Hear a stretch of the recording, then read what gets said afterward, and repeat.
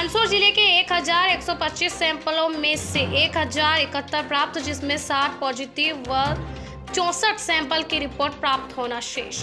बीस हज़ार सात सौ अठहत्तर यात्रियों में से चौदह हज़ार दो सौ पैंतीस यात्रियों का क्वारंटाइन पूर्ण।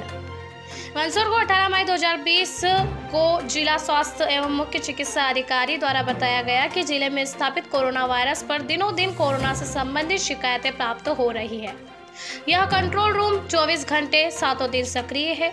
अगर किसी प्रकार की समस्या हो तो कोरोना कंट्रोल रूम नंबर जारी किया गया है, जिसमें शून्य सात चार दो दो दो पाँच पाँच पाँच, नौ छ तथा शून्य सात चार दो दो दो पाँच पाँच, दो शून्य तीन तथा शून्य सात चार दो दो दो पाँच पाँच शून्य तीन तीन व व्हाट्सएप नंबर आठ आठ आठ नौ सात आठ आठ तीन शून्य चार पर संपर्क कर सकते हैं। कोविड 19 कोरोना वायरस के संक्रमण की रोकथाम, बचाव एवं उपचार के लिए ज़िले में बीस हज़ार सात सौ अठहत्तर आने वाले यात्रियों की स्क्रीनिंग की गई है, जिसमें से कुल बीस हज़ार सात सौ अठहत्तर यात्रियों को होम क्वारंटाइन एवं क्वारंटाइन सेंटर में चौदह दिनों के लिए क्वारंटाइन किया गया है।